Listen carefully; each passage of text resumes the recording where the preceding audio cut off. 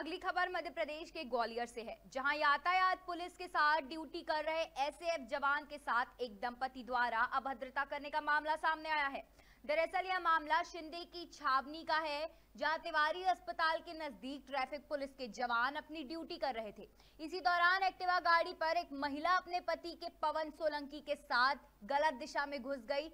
वही जब यातायात जवानों ने उसे रोकने का प्रयास किया तो रोकने पर ना सिर्फ़ महिला ने अभद्रता की बल्कि यातायात और एसएएफ जवान के साथ मारपीट भी की।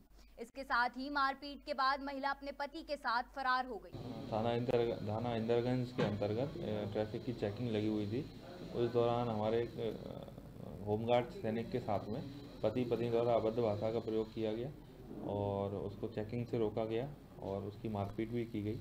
एक थप्पड़ महिला के द्वारा मारा गया और जो कि शासकीय कार्य में बाधा की एक एफआईआर होमगार्ड सैनिक की तरफ़ से दंपत्ति के खिलाफ हमने पंजीबत की है और जल्दी उनकी गिरफ्तारी करेंगे। हाँ मैं जो है वहाँ पर ही नौकरी कर रहा था ट्रैफ़िक पे, सिंधी छावनी पॉइंट पे।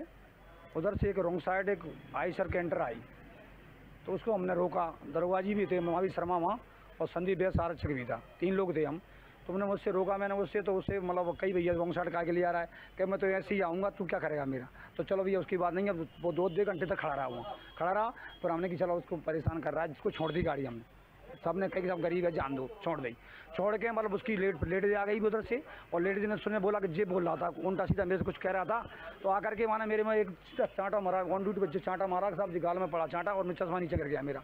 वहाँ पे बीस, पच्चीस लोग अपने जो हैं, सबरे, सबके सामने, और ए एस आई साहब के सामने, और और उसका नाम क्या है उस आरक्षक के सामने, मेरी मतलब उसने चांटा मारा।